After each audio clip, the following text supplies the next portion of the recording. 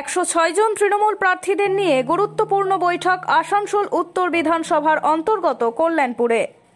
আসানসোল পৌরসভা নির্বাচনে একশো ছয় জন তৃণমূল প্রার্থীদের একত্রিত করে এক গুরুত্বপূর্ণ বৈঠক করলেন রাজ্যের মন্ত্রী তথা উত্তর বিধানসভার বিধায়ক, মলয় ঘটক, তৃণমূল জেলা প্রেসিডেন্ট, বিধান উপাধ্যায়, উজ্জ্বল চ্যাটার্জি, বিধায়ক নরেন চক্রবর্তী। ভোট রণকৌশল করতেই এই বৈঠক বলে মনে করা হচ্ছে। এবং প্রার্থীদেরকে মনোবল চাঙ্গা করতে এই বৈঠক করা হচ্ছে। মন্ত্রী মলয় ঘটক বলেন, কোভিড গাইডলাইন মেনেই প্রার্থীদের প্রচার করার নির্দেশ দেওয়া হয়েছে।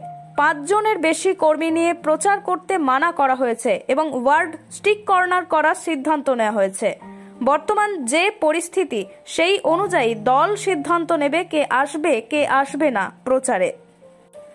আসানসোল থেকে কাজল মিত্রের রিপোর্ট খাস খবর বাংলা ওয়ান।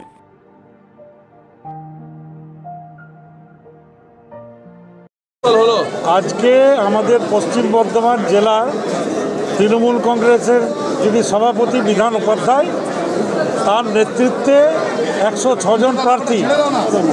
তাদেরকে আমরা একটা সভা করলাম।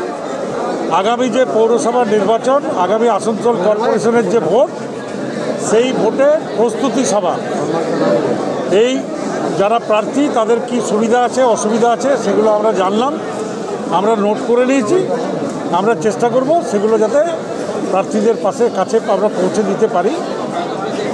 পোস্টার আছে ব্যানার আছে দেওয়াল লিখনের ব্যাপার আছে কিছু কিছু ডিমান্ড আছে স্ট্রিট কর্নার করা ডিমান্ড আছে আমাদের যারা নেতৃবৃন্দ আছে জেলার তাদেরকে পথসভা করানো সেই ব্যাপারেই আজকে মিটিংটা ডাকা হয়েছে। কোভিড কোভিড পরিস্থিতি মেনেই সব কিছু করা হচ্ছে। আজকে যেমন প্রার্থী ছাড়া আর একজন কাউকে এক্সট্রা ডাকা হয়নি। একশো ছজনই ছিলেন, তার বাইরে কেউ ছিলেন না। ঠিক সেইভাবেই যেখানে কোভিড গাইডলাইন যা আছে, সেই গাইডলাইনকে রেখেই করা হবে। প্রার্থীদের বলে দেওয়া হয়েছে পাঁচজনের বেশি লোক নিয়ে তারা বাড়ি বাড়ি যেতে পারবেন না। পাঁচজনের মধ্যে সীমাবদ্ধ রেখে বাড়ি বাড়ি প্রচারে তারা যাবেন। এছাড়াও স্ট্রিট কর্নারিংয়ে যাতে বেশি লোক না হয়, পঁচিশ, তিরিশ, পঞ্চাশ জন। আর এমনিতে কোভিড পরিস্থিতি বলেছে, বড় সভা যদি মাঠে হয়, তাহলে পাঁচশো পর্যন্ত লোক ডাকা যেতে পারে। তা আমাদের যদি শীর্ষ নেতৃত্ব আসেন তখন আমরা সেই সমস্ত সভার কথা চিন্তা করব। কিন্তু বর্তমানে আমরা কিছু ছোট ছোট স্ট্রিট কর্নারে এবং বাড়ি বাড়ি প্রচার এটার উপরেই আমরা জোর দিচ্ছি। গতকাল গতকাল পাঁচশো যেটা বলছেন সেটা আড়াইশো ইয়েতে দাঁড়িয়েছে। সভা করলে আড়াইশো লোককে নিয়ে সভা করতে হবে। গতকাল যা থাকবে কোভিড গাইডলাইন যা থাকবে তাই হবে। তো রোজই রোজই পরিবর্তন হয়। যদি বলে যে না, সভা করা যাবে না সভা করব দেখুন এই এই বর্তমানে যেটা পরিস্থিতি আড়াইশো লোক বলছে দিয়ে সভা করার।